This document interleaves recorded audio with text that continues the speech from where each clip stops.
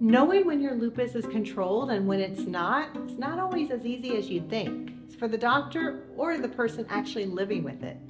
There are some clues, however, that if you pay attention to them, you can become an expert in your own lupus. Some of these I learned in training, but one in particular I've learned from my 15 plus years of experience taking care of those with lupus.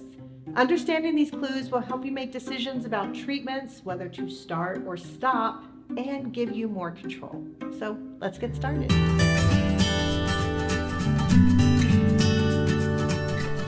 You still have a high dsDNA antibody or low C3-C4 levels in your blood work. When you have lupus, getting regular blood tests becomes a part of life. So much so that you can easily assume that the only thing that matters are the blood test results. Rheumatologists typically see those with lupus every one to three months, and we will order blood tests each time. There's a reason. In lupus, we are checking for things like anemia or kidney problems, and we are also checking two immune system markers that are associated with lupus activity. The anti-dsDNA antibody, or the anti-double-stranded DNA antibody, and complements C3 and C4. I did two videos on each of these tests if you really wanted to do a deep dive, and I'll put the links in the description box.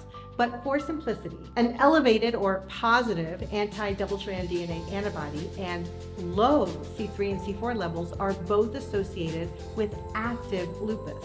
Of course, because this is rheumatology, there are a ton of caveats and exceptions to this, but it's a good rule of thumb.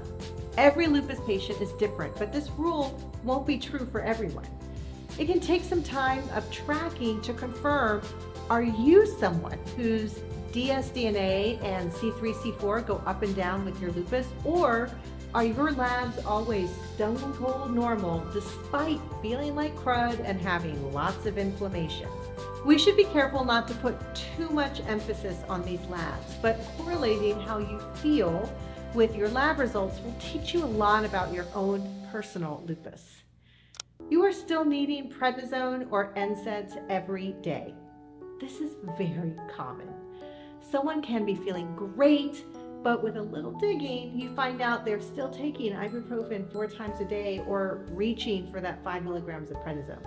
Prednisone and NSAIDs like ibuprofen or naproxen are potent anti-inflammatories and are tools we reach for when we have active inflammation but they come with their own problems and should not be taken all day, every day. They are best used for a finite period of time to get someone's inflammation under control. If you find that you are still reaching for them on the regular, you need to ask yourself why. What is the symptom that bothers you the most and the reason that you take it?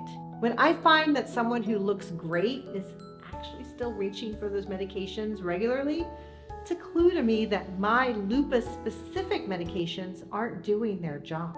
We use lupus specific immune system targeted medications to get at the specific lupus related problem that then leads to decreased inflammation.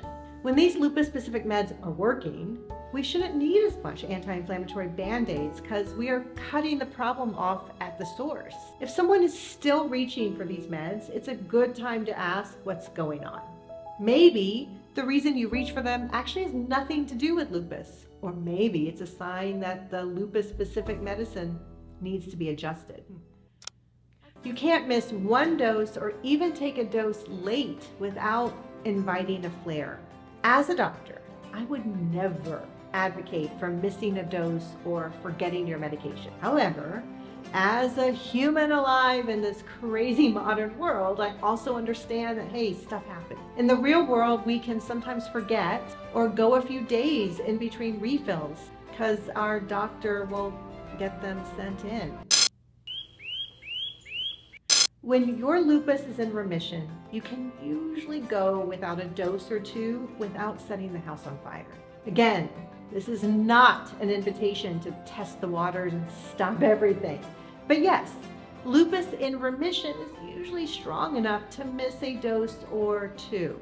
If you find that missing just one dose or even taking the dose one to two hours late is pushing your limits and you feel like your pain, your swelling, or inflammation are coming back, then it's an important sign we need to pay attention to. Of course, which medication we are talking about makes a difference as each med has their own quirks, but generally speaking, being so reliant on the medication is a sign that your inflammation hasn't calmed down yet. Your blood pressure is high.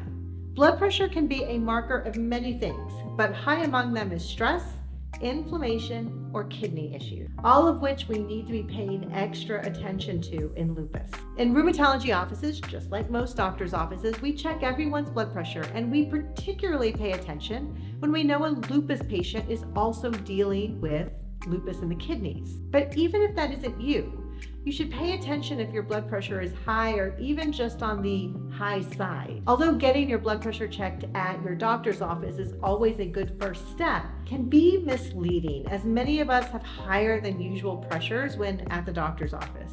It's called white coat hypertension and trust me, it's a thing. If your blood pressure is very high, then it's unlikely to only be from white coat anxiety, but if it's just always on the quote unquote high side, it may be a good reminder that you need to be keeping track of it at home.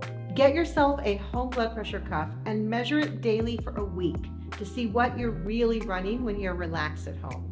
This will give you a much more realistic picture of what your blood pressure really is. Not only can having high blood pressure be a sign of active lupus, but it's really just good practice. You know, lupus is associated with a high risk of cardiovascular disease, which means we want to be on top of every other risk factor, which includes blood pressure.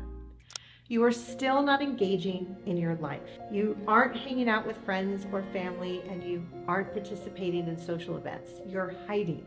Lupus is life changing. There's just no way around it. It's scary and defeating and takes so much energy, energy we don't necessarily have to figure out how to maneuver through doctor's appointments and blood tests and medications and now all the new symptoms that we have to deal with. One of the key elements to getting back control over your health and your lupus is getting back to a life. After years of caring for those with lupus, I have found that the biggest tell that someone is truly doing well and thriving is that they are getting back or really building a new life, a new life that includes lupus. Hiding away can be a sign that we aren't feeling great, either from lupus, new medications, or from the grief of the loss of our pre-lupus life. We can also have a lot of fear about what a new life with lupus is going to look like. Will we be accepted? How can we learn to not push ourselves too much? Isolating gets in the way of true remission. I can throw all kinds of medications at lupus to get your blood work right, to decrease your inflammation, but real remission isn't just about getting your numbers right. It's about living your life. So I love bringing up questions for you to think about and to bring up at your next doctor's visit. Do you know what your anti-double-strand DNA antibody and complement levels are? The first step is tracking what your numbers are. You can then correlate what your numbers are with how you're feeling. How often are you taking anti-inflammatories, either NSAIDs or prednisone, and be honest. Needing these every now and then is totally par for the course and fine, but if you are reaching for them on a daily or even multiple times a day, add it to your list to talk about with your doctor. What is your blood pressure and do you have any readings from home? Get yourself a home blood pressure cuff and for one week, check your blood pressure every day. Try it different times of the day. That will give you the best idea of what you're running. Take a moment to reflect. Are you holding back from engaging with friends and family? And if so, why? Whatever your answer is, it's okay. There's absolutely no judgment. But remember, what's the point of getting in remission? You still aren't living your life. The dance you and your rheumatologist are constantly doing with lupus is figuring out when good enough is enough and when to keep pushing. I have been on both sides of this dance. Sometimes my patient's happy with where they are and I'm the one gently reminding them that we need to keep tweaking. And sometimes it's the other way around. There is no right or wrong here. It's about learning your own flavor of lupus, understanding the clues so that you can then interpret them correctly and then make the best health decision for you. Thanks so much for watching. If you got something out of it, I'd appreciate it if you liked, shared, and subscribed. It really helps us get in front of more eyeballs so that more people can get the information they need to better understand their lupus. Thanks, and we'll see you next time.